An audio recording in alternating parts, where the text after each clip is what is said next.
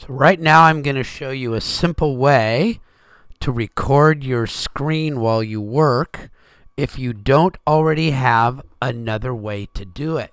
And I'm doing this on VMware just to show that it can be done from any computer in any way. I don't have PowerPoint on my own computer.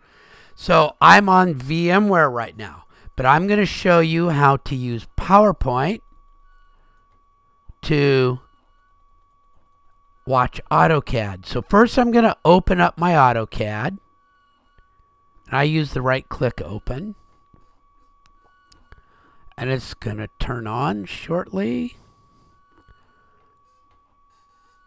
And this does take a while to get set up, and that's okay. So there we go. I've got it all set up, so now I can minimize it. And now I can open PowerPoint. Right click open. And it's really cool. There's a really cool thing in PowerPoint. It's under the Insert button. Insert. And way over on the right, it allows you to do a screen recording. Click. And so it asks you what part of the screen. I'm going to select the area. What part of the screen do I want? And I'll take the whole screen.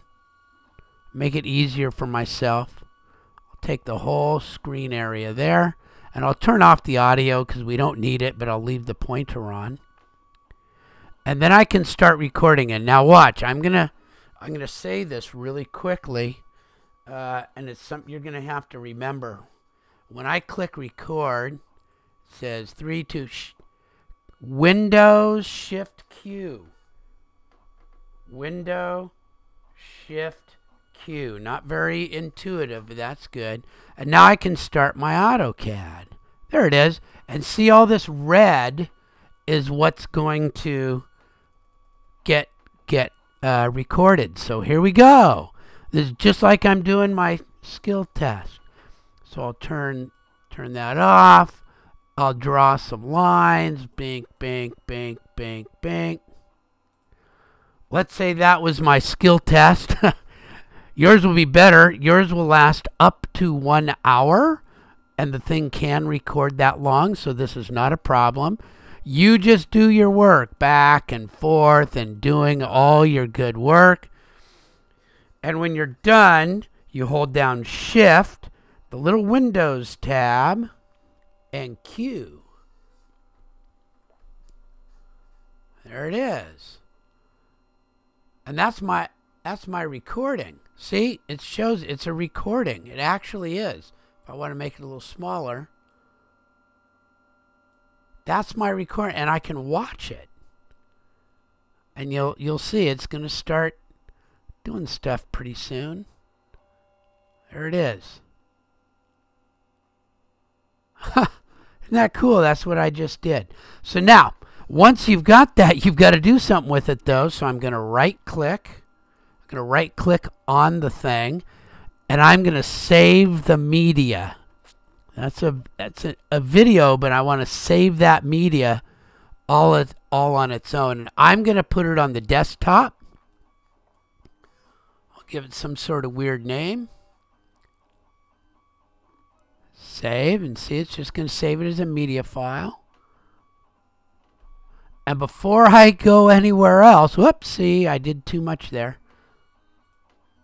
I'm gonna I should before I you know I save everything and there it is. There it is right there. Okay? So it's really important that you save that somewhere where you know where it is put it on a flash drive or on your computer or whatever or um, if it was a good one submit it into canvas right away but that's your file and remember, to do your final exam, you want to put in that, plus your AutoCAD file, plus print it to a PDF. So there you go. That's how you can do a recording of your own work. This media file needs to be submitted with your skill demonstration. If you have questions and can't get it done, then of course, email me and we'll set up some way to get it done so that you can you can do it. But this is something you can practice in the meantime.